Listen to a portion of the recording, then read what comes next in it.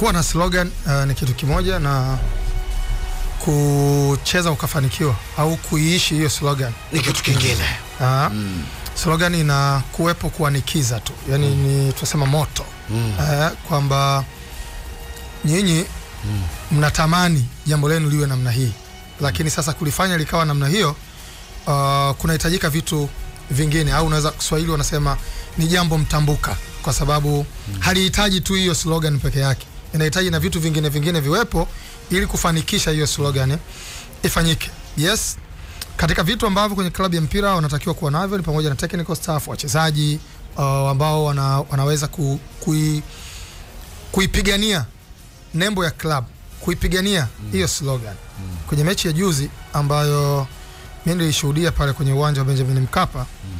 Simba ilikuwa na wachezaji ambao wazuri kiufundi uh, wanaweza wakaishi kwenye mbinu za mwalimu lakini hawawezi kuipigania nembo ya klabu yao hawawezi uh, kuipigania slogan ambayo ndio inawaongoza kama mtazamo wao kwa sababu kuna maeneo unampima mchezaji wa mpira unapokutana uh, moja kwa mmoja na mchezaji wa timu pinzani. Hii imekuwa ikitokea sio tu kwenye mechi zinazohusu Young Africa, sio tu uh, kwenye mechi za ligi kuu, lakini hata kwenye mashindano ya kimataifa.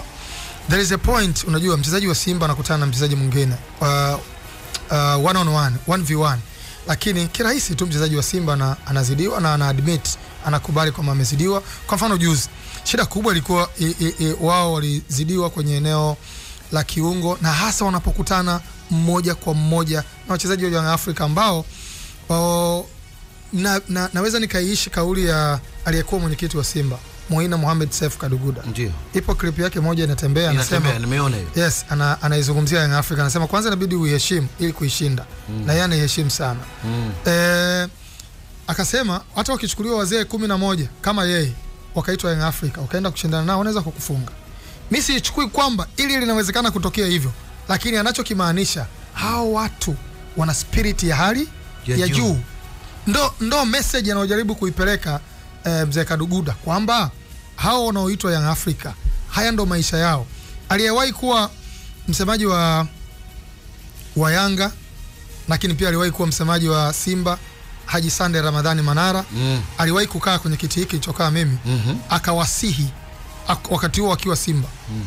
akawasihi wachezaji wa Simba akasema wana, kikosi kizuri lakini wanashindwa na Young Africa.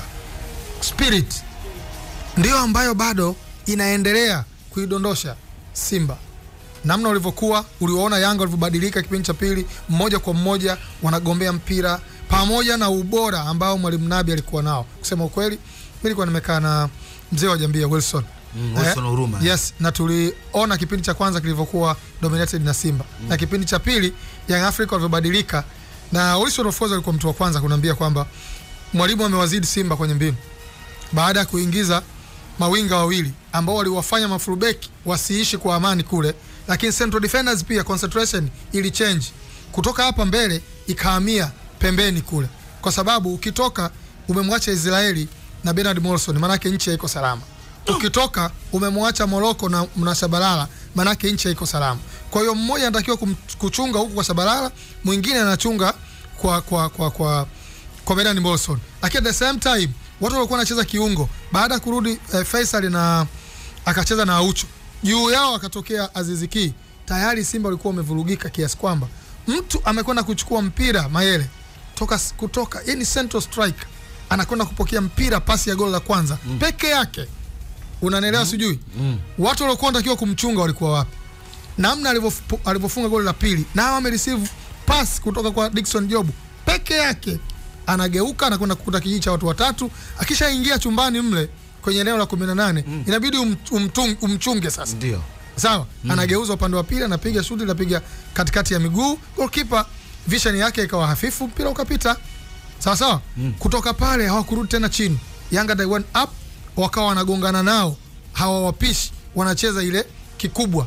Simba they could not come up. Na almanusura wapate la tatu kama ile ile pasi ya Aziz uh, kwa Bernard Morrison na, ni vile tu Bernard Morrison alitamani ni kutafuta Bernard yule au nani? Kuna, Mayele. ziko mbili. Uh -huh. moja alipigiwa Bernard Monson akatamani iwe faulu zaidi ya penati kuliko ni kugusa mpira.